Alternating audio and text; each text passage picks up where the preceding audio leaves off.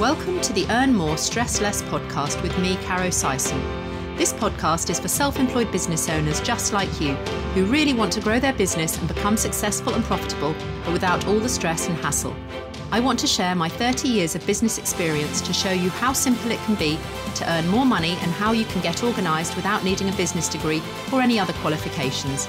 I'll be talking about the easy steps that you can put in place right now to start earning more money today and to help you get the business that you deserve and dream of. Without further ado, let's get started. This week's podcast is sponsored by Pocket PA, helping self employed business owners to get organised, understand their finances, and do their accounts all in one place using a powerful online tool. If you're serious about making a profit and having a successful business, then using a simple digital web app like Pocket PA is the best way to grow and scale your business. Visit pocketpa.com for more details and start managing your money like a pro today.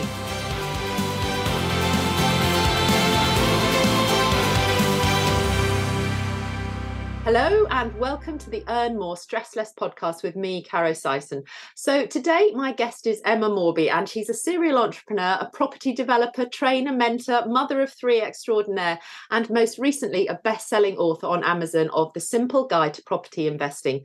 Now she's passionate about closing the gender gap in the property development industry and to help people to create true wealth through property and more specifically women. So she works with women to give them time, security, and money and she's got a successful property company of her own and has developed over 8 million pounds worth of property. So wow, that is some feat. I know Emma because I've been in property myself for 20 years. So Emma, huge welcome and obviously congratulations on your recent book bestseller.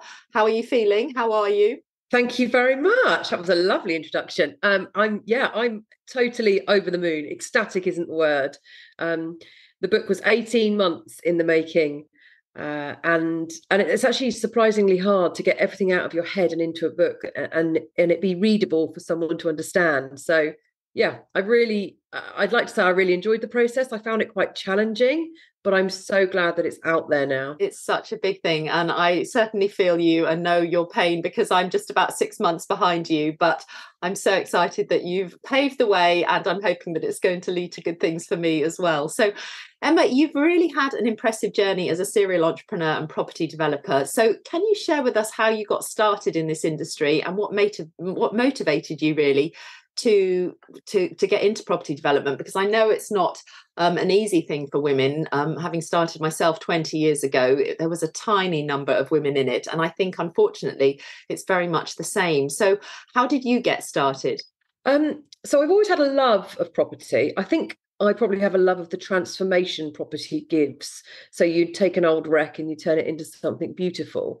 Um, but I decided to sort of take the full jump and learn everything I could about property. You know, and when I say everything, I mean like planning rules and regulations, um, how you get started through the property development. And I chose property development because I wanted to earn bulk money at the end of a development as opposed to having cash flow throughout um, a project uh, because I had my end goals were were um, quite big.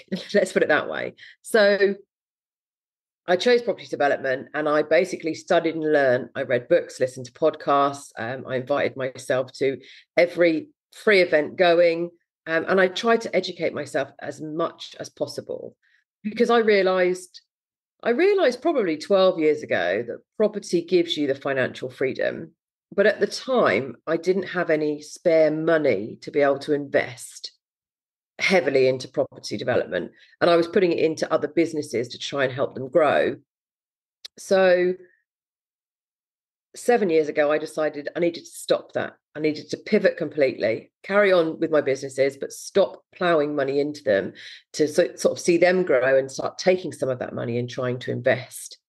Um, which I did. And I've been I've been successful at it, but I have to say it's been quite a tough journey. Um, and so for anyone thinking property development's easy money, it's not. You know, you really, really have to know what you're doing. And it's the same as when you start in business you know you can see these show reels on instagram that make it look incredible and simple but the the bare facts of it is being self-employed is hard graft and there isn't any fast track or any sort of get rich quick thing in reality. And i think unfortunately there is some perception that some people i don't want to say men or women um, put out there that there is you know easy ways to do it and you know just follow me just let me show you the quick fast track route. You can cut corners because I've got so much experience type thing. But the reality is that it is actually, you know, I don't want to say the word slog. It, it, is a hard route, but it's very rewarding and the rewards can be immense. Um, but I know how passionate you are about closing the gender gap in property. And what are some some of the challenges that you faced as a woman in this field, and how have you overcome them? Well, as you can imagine, I probably come across quite a lot of challenges being a female working in the property industry. You, know, I'll give you an example of one of those now, but basically, um, one of our recent projects that we brought, when I went on site, uh, I had a tradesperson meet me. I won't mention who, but I had a tradesperson meet me. And the first thing that left their mouth was, Oh, are you from the estate agent here to take photographs? It's, it's so funny, and it's it's that they don't even think that you might be paying their bill or their their check that, that they, they presume it won't be you and that you must be coming to do some administrative task yeah. or like you said the estate agent or the photographer. Yeah and and that's kind of what i come across often when i'm asking for quotes for things people will increase those quotes um, because i'm a female and i i don't understand about the value of materials or the costs of materials. So they increase the quotes. And then when I get them, I have to go back and sort of say, well, actually, no, timber doesn't cost that much. Why have you quoted it in at that? And and then you get the, oh God, she knows what she's doing. Oh, okay. and then they sort of build up a rapport. But you do have to go through that, unfortunately, initially. Now, don't get me wrong, they're not not everyone's like that in the industry. But what I find is um, it is very male dominated. So you you have to have quite a strong backbone. You have to be willing to stand your ground. You have to be willing to carve out a little space for yourself. Um, and and hopefully over time I'll carve out a little space for other people to follow um, and and grow and become successful in their own right. I think there's a real um, value in hand holding people because certainly when you get started, you don't have necessarily the competency to know and to challenge people. So you you may lack that confidence at the beginning. So going alongside somebody by having a mentor or going in a support group like that, I think is really valuable um, to give you that confidence and to actually learn those um, bits of expertise that will enable you to actually know the difference between a high price, a low price, what's acceptable, what isn't. Because when you you don't have those benchmarks, it can be quite scary to go into a new industry, particularly one where it's male dominated and you're, you know, you're talking about quite large sums of money and, you know, bricks and mortar. There couldn't be anything more bricks and mortar than the property industry. So you really have to have your wits about about you um, because you're on quite a fast um, time track. I, I know time management is really a crucial aspect of running a business in in any business really. But how do you balance your role as a property developer trainer, mentor, mum of three. Do you have any sort of productivity tips for our listeners? Um, this is probably the one area that is my downfall. I'm going to be honest. Um, my time management is pretty poor, and I've done various things over the time over time to to improve it. Um, and not everything has worked. Some bits do, some bits don't. So at the moment, if I'm honest, I have a calendar system, and that calendar system, I have one for my children, I have one for each business, um, and and I review that calendar every single morning I get up. But the calendar system only works as well as you putting stuff in. So if I'm driving and someone rings me and says, Emma, have you done this, this, and this? And I go, oh, yeah, no, not the third thing. So I need to add that to my calendar. If I get out of the car, then do the shopping and think, oh, I've forgotten to add it to my calendar. I'll do it when I get home. The reality is, I get home, I become mum, and then I'm in mum duties for the rest of the night. And and at the end of the day, I wake up in the morning and I, it's not in my calendar. I've forgotten it. So I think that's a really human response. I have to say, I drop the ball reasonably regularly because you know when you're running business it's never going to be perfect. Any business, whether it be property or any other business, it's never going to be perfect. And you are going to drop the ball. But I'm really hot on if I drop the ball, how can I fix it? I think that's really key for me. Um, and you know, mine is to put my hands up. I, you know, I've dropped the ball. Things have gone wrong. Let me look at how I can make this situation better. Sometimes I can't, but let me look at how I can make this situation better, um, and let me try and learn how I don't do that mistake again basically. I love it. You are just human emma and it's it's great to hear. So i love it that the productivity tip is to put everything in the calendar but we the reality is that sometimes we forget things. But by having a system i think that's great that you've um, you know you've got a framework and you know that it does work when you remember to put in but the magic is in the mundane. It's those boring bits and pieces that don't light up the world but those are the actually the key components aren't they that actually keep us on track um, to enable it. And I think, you know, it's the same when you're scheduling a build, isn't it? You need to have um, sort of project timelines and stuff so i would imagine that you're really hot on you know having having that overview and then breaking everything down into small steps in order to be able to achieve that end result of the big house you have to start right down at the foundations and then you have to have your timeline and everybody's working on you know on different sprints etc for the different um, components of the of the project um, but when you've been running um, your your projects and stuff, obviously you haven't got to be sort of managing eight million pounds worth of uh, properties and stuff just overnight. What do you think are the key factors that really have sort of led to your success? What are the attributes that you have as a person that somebody could perhaps relate to to think oh that might be you know i'm a little bit like that so you know that might be something that that's really going to be important to help me in my property career? So if there's somebody that's an aspiring entrepreneur in the property industry what would be your key attributes that you think um, are transferable that could work well in the same industry? Um, i think for me, it's my grit and determination. I enjoy what I do, which always helps. If you enjoy property or if you enjoy the business you're in, it really does help because it doesn't seem such a chore when things are hard. Um, but for me, I I'm very much focused on my end goal, what I want to achieve from my end goal. Um, and then I put sort of smaller goals in between that I'd like to hit. And when I hit them, I really celebrate. You know, I, when my book come out, I really I cracked open a bottle of champagne. I sat with my family and I celebrated because that's quite a key milestone for me. Um, and I think anyone who wants to get into property, as long as they understand that you can't learn everything in three days and that you are going to need to learn regularly throughout your property journey. Even now, there's stuff that I learn on a regular basis and I improve my knowledge on, or there's legislation changes, you know, those sorts of things. And, and I suppose it's like that for every industry, isn't it? But for me, it's it's the learning, the continual improvement. I can see that I'm making improvements and, and sort of being successful at, at celebrating those achievements. Um, and learning to, I suppose, grow as a person.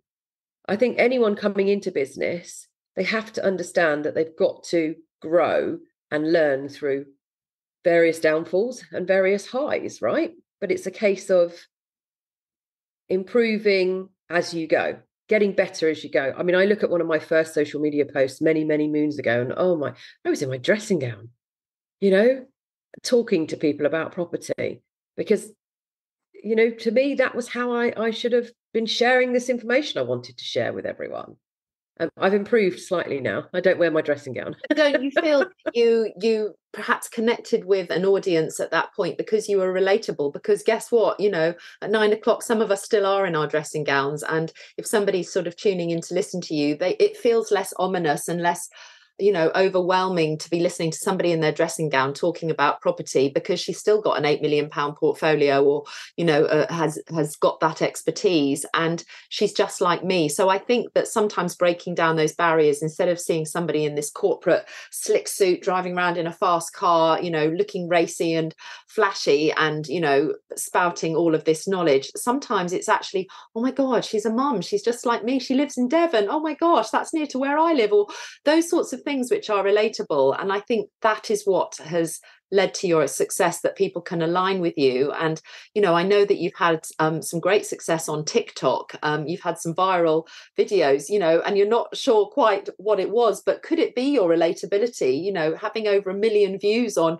something that you've recorded whether you're in your dressing gown or not emma those are things that that people um, you know not not aspire to be in your dressing gown but to have that ease that you could have a viral video on tiktok and you've done it without any you know expertise in tiktok but because you're talking about something that you're passionate about and knowledgeable about um, other people are listening to you yeah I, I think that i think it does help that i am just a normal person I live a very normal life. Um, I don't drive a flashy car uh, I don't, you know, I don't do, I do go on holiday, but I, I don't do. That is very normal. Uh, I don't do, I suppose, what, yeah, as I say, I don't do what I suppose you would typically see branded all over um, sponsored ads for the property industry, you know, sat on your Porsche or sat on, you know, I don't, I don't do that because for me, that isn't how I live life. Um, the reality for me is that you know there are good but there are good times and bad times. People believe them especially in property they're like oh yeah you're in property development. Oh my god you must be you must be loaded. And you're like well actually the reality is you know during the build and then getting to sell them at the end i don't earn a penny from that i don't take a salary so i have to earn my money through other lines of business or other lines of um, property that i might have because I'm not going to earn while I'm building this 14 block apartment. Um, but people have that belief that I I probably still do, and, and that's because unfortunately we've had this huge wave, especially in the last 10 years. You've probably seen it, to be fair, where um, it, it it's perceived that people in property are extremely wealthy and that they have all this money coming out of their ears. The reality is you're not. If you're feeling skin in your property journey for the first three years, you're doing it right. Quite frankly, you're you're doing what you should be doing to create wealth at the end. If you're feeling flush and you're living life like it's the best thing in the world, never looking at a price tag, well, you aren't in property for the right reasons. But more importantly, you're not going to make it in property because you're spending everything you should be reinvesting. So yeah, I'm quite passionate about that. Yeah, I think there are some misconceptions about, um, you know, I think we are flooded with um, people that are in in the property industry, like you said, in their far, fast, flashy Porsche cars and you know showing this fast life of oh it's so easy and so if you are struggling it's like oh my god i can't be doing it right if it is so easy. But you know margins are tight build costs have gone up there isn't um, you know as, as ready availability of materials as there were. So we have to refactor and cash flow is such a key component. It certainly has been in my journey and you're right you're always balancing the numbers and you have spreadsheets and they don't lie because it's all about the numbers. It's not about about that beautiful cottage that's got the roses over the top and you have this romantic dream of property development and a little bit of renovation. And i know sarah beeny has you know enabled us to think about how romantic it could be to um, you know be that goal and that dream. And there are some lovely property programs with kirsty and and phil on the location location. But there are some real hard things, and it is about the numbers um, all of the time with property. Because if it doesn't stack up and you don't know the numbers, you're not going to get the finance, you're not going to get the backing, you're not going to be able to deliver the project at the end, or it's going to be cut short, and then you're going to have to exit early, and then that's when the losses happen. So it is a real numbers game, isn't it? And do you find maths is such a key component for you, or are you able to use templates that enable you to sort of alleviate some of those um, things? Yeah, so I built a template fairly early on um, for speed really more than anything. So i could put in some figures some numbers and and it would spit out a percentage at the bottom to tell me whether the project was viable or wasn't viable. So if it was viable then i would look in much more detail. I'd do way more due diligence around it. Um, if it wasn't viable it just got scrapped there and then off, off my desk and done um, so there are tools that I've used to sort of speed up the process, definitely. And I've learned a lot of those tools along the way. But the key part in, I think, property is being able to spot a good project. So I've now, over time, I've honed my skills. So I can drive down and, you know, a high street and think, oh, that could be converted into, hmm, I think that would be worth. And that comes with experience and time You don't get that overnight. Um, and that's what that's what happens. People sell you the dream that you can have that overnight, and they'll say, "We'll give you all the, you know, all of the tips and everything that you need." But the reality is, when they step away, you're very much left feeling isolated. You've got lots of questions, but no one there to answer them. You know, you want a sounding board, you want guidance, you want someone to say, Well done, you're on the right track, or Oh my God, stop, you're making an absolute disaster, and this is the reason why. You know, you want that, don't you, when you're investing your own money or someone else's money, if you're borrowing money, into a project. So, and I, I feel that that's very much missed when they're selling a dream to someone. And the reality is that you have to put a lot of um, due diligence into a set number of actual um, projects that you're going to do, but an awful lot more go into the hopper at the top. And, you know, you could have a look at, you know, three, five, ten, twenty projects before you actually find that one. It, it's very unlikely that you're going to just rock up and the first one that you see is going to be one that you're going to develop out or it's you know there are so many sort of key moments that you go through when you're doing your due diligence to enable it to actually tick all the boxes and for it to be a goer. And then when it is a goer for you you could be in competition with other people that are also vying for it because they've also done the maths and decided that they wanted and that's when it might become a bit of a bidding war. So once you've decided that it is your dream project you might not actually be successful even at the end which I think is why it is such a numbers game, which is why you have to be a little bit detached from thinking, you know what, if it stacks up and I end up getting over the finish line with this one, then I'll run with it. But I've got three or four, five going along on a similar track and whichever one comes out at the end i know that all of these five will work for me but because i'm in competition you've got to have those numbers at the at the get-go. Has that been your experience also? Yeah um uh, yeah i mean there's a lot of competition out there clearly and there's a lot of money out there at the moment believe it or not. But um, the the the biggest thing I would sort of share with people is put together a uh, you know a, a figure that actually works for you. Now that figure could be four hundred thousand pounds less than what they're asking for, but that's what works. Sorry, an offer for a property. Is this what you're talking about? Yeah. So when you put an offer in, you're gonna you're gonna you're going to look at it and you know, i'm talking in the property development world but if you're if you know if you're looking to buy a flip for instance then you would if it was up at 100,000 and you thought, well, actually, I can make it work at, at 65 or 67,000, I always say to people, put that offer in and leave it in. Now, you nine times out of 10 will not be successful. But what I've had in the past is where I put an offer in.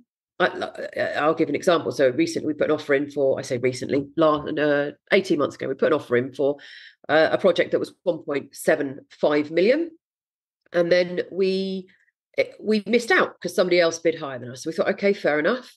And then that fell out of bed because they weren't able to deliver that because their figures didn't stack. Then they sold it to someone else, second in line. We were third in line. They sold it to somebody else, second in line.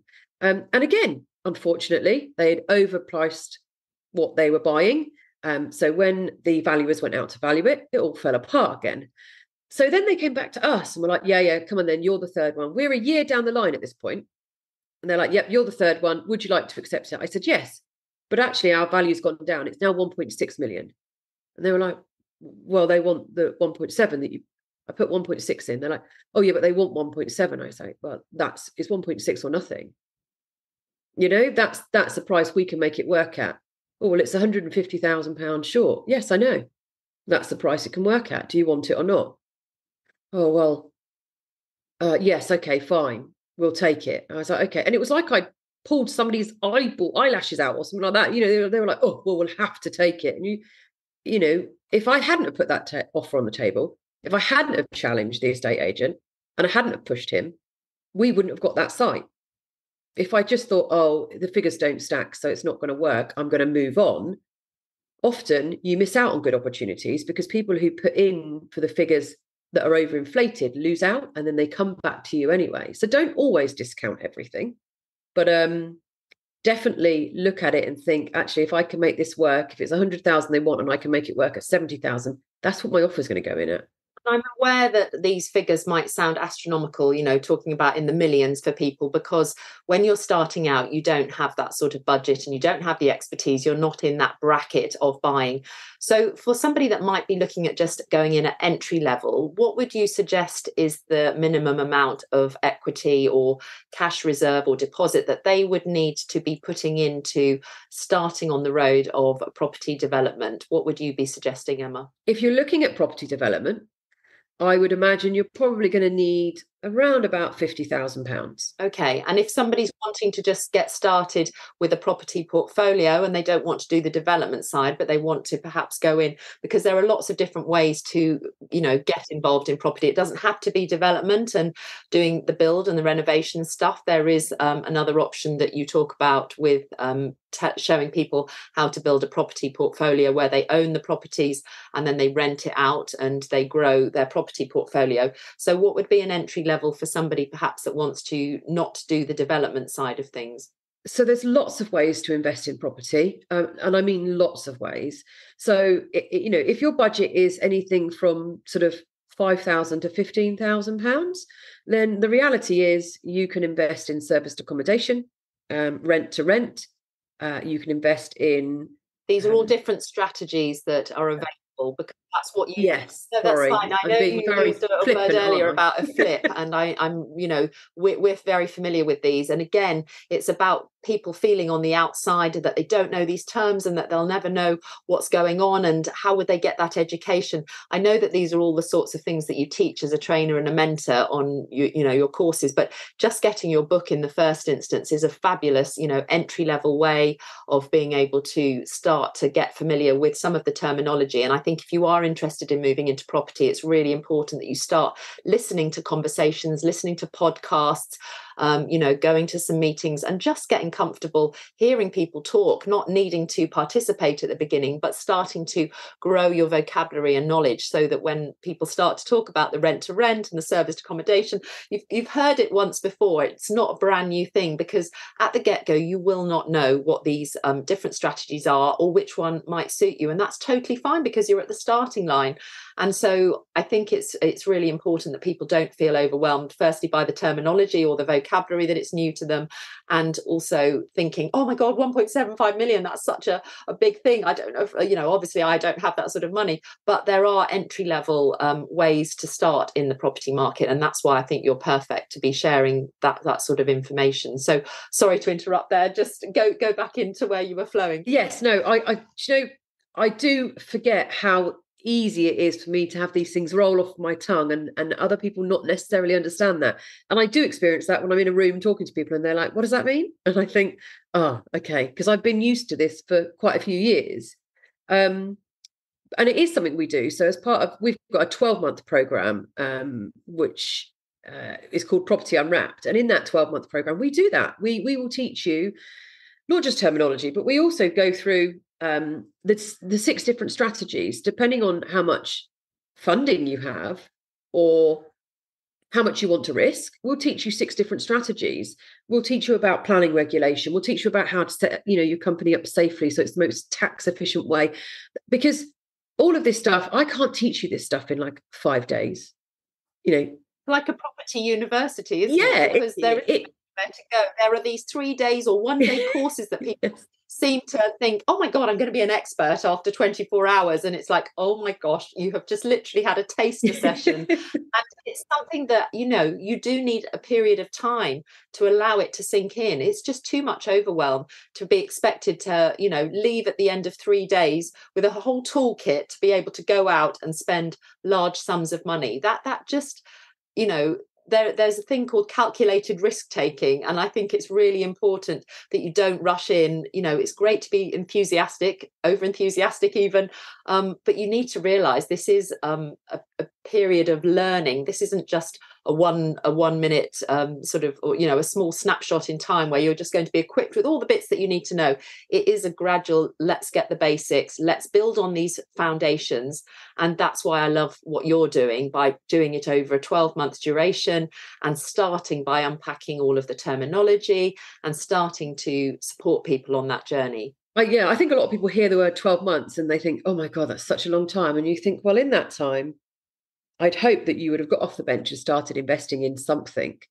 But it takes that long to learn to deliver but doing that investment within your space a safe space and your cocoon of su- support and stuff where you're hand holding people is such a great place to be doing that because doing it on your own is super scary and not having somebody as a sounding board um, particularly if it's your first time um, you know that that sounds like a nightmare for me and, and there are people that that do that um, but but i know that for me as a woman i would love to be surrounded by people having that um, expert on hand in your uh, back pocket on your speed dial on your whatsapp or whatever it is um, in your support network to be able to just um, hold hold your hand.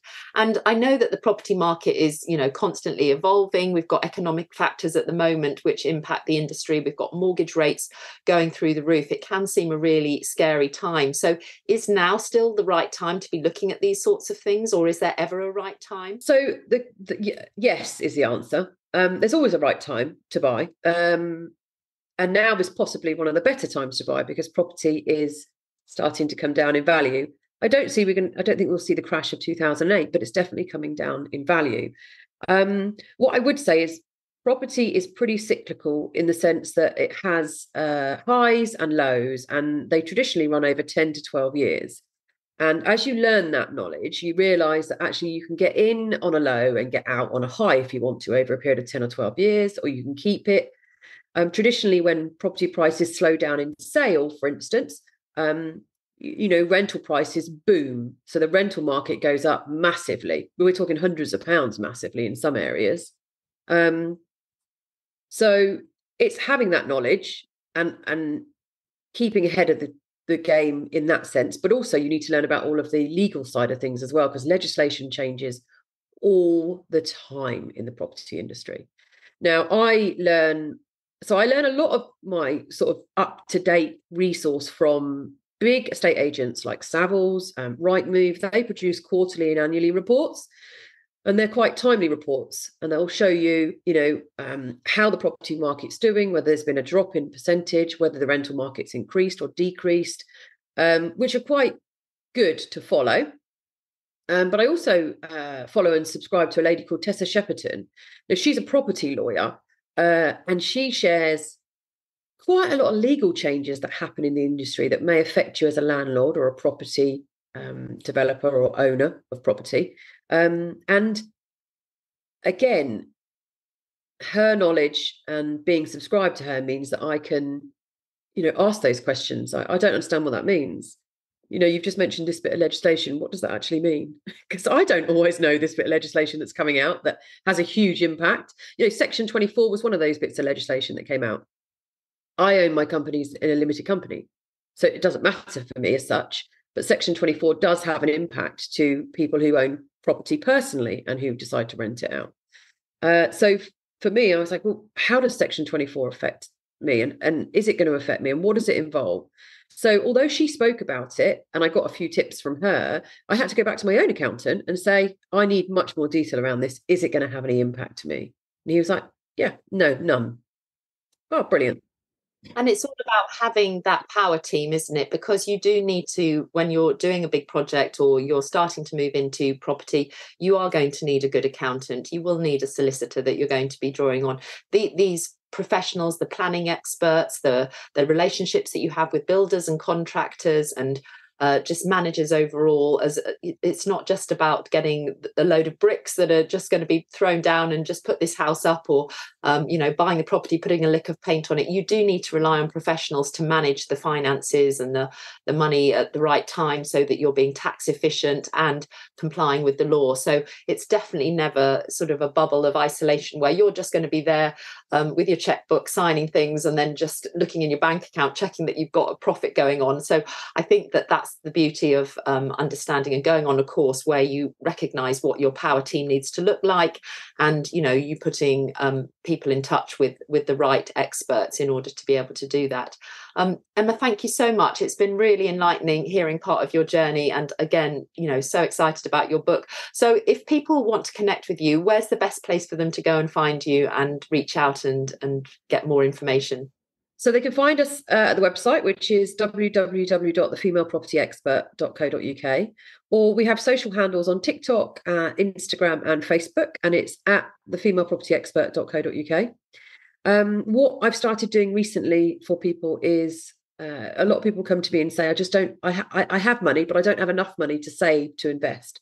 So I've started to put out onto my social channels ways in which they can earn extra money through different avenues um, and so kind of save that money, I suppose, and, and become more entrepreneurial let's put it that way and save the money and then have some money to invest in property you know in in the next sort of 12 months 18 months. So that's something else we've started doing that's different that people might find helpful. So if they're sat here listening to it thinking i'm running my own business it's, it's great but it doesn't it doesn't generate me as much money as i hope to be able to save there are other ways in which you can generate money not through property or your business for instance. And if you want to get started and you know money is extremely tight now i know that then th- that's why the book's been created. You know you can you can buy a copy of the book from amazon um, the simple guide to property investing. And that goes through quite a lot of knowledge. Um, it gives you helpful spreadsheets letters to you know pre-written letters those sorts of things that you might need to start your journey. Perfect. So that's sort of really entry level and they can pick that up on amazon super simple and start reading and getting that basic foundation level in right from the get-go. And if they follow you on their socials um they, will they be able to see you in your dressing gown? Or have you stopped that now? In my early days they'll be able to. I don't i'm not as bad now. I mean they'll probably see me with no makeup. Some days i wear makeup some days i think I'm just not going to bother. I haven't got enough time. Who cares? Oh, Emma, thank you so much. It's been lovely. And it's very timely to say that I can't believe this is the 52nd episode, literally a year's worth of podcasting I've been going. So it's lovely to have you on it to celebrate that. And I'm going to be bringing out a season two um, well, I'm, I'm not exactly sure when it's going to be starting, but we're starting to do the prep for it. So if you follow us on pocketpa.gb, you'll be able to get um, updates as to when the new episodes are coming out for season two. We're doing a little pivot and going to be doing a spotlight on some different aspects of self employment, but it's all in the same theme of working less and um, earning more with less stress. So until next time, have a wonderful um, summer ahead of you, and we will catch up again very soon. Thanks for listening to the Earn More, Stress Less podcast with me, Caro Sison. If you've enjoyed this week's episode, then do hit subscribe so we can catch up again soon. And please kindly leave a review if you've got a moment and share with anyone else that you think this podcast could help on their self employed journey. If you're ready to make bigger breakthroughs in your business life and want to get way more organised and understand your finances the really simple way, then start your very own 14 day free trial today using the super powerful software tool Pocket PA that I made for my own son and daughter. Go to pocketpa.com forward slash podcast and let's get you on the way to earning more money and stressing much less. Have a great week, whatever you're doing.